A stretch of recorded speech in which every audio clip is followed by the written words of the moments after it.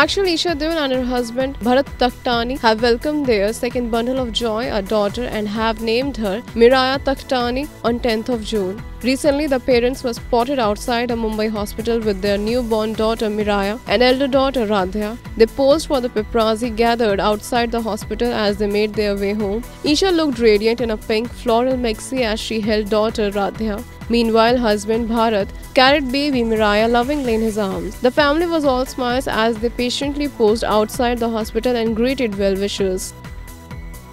Honest report.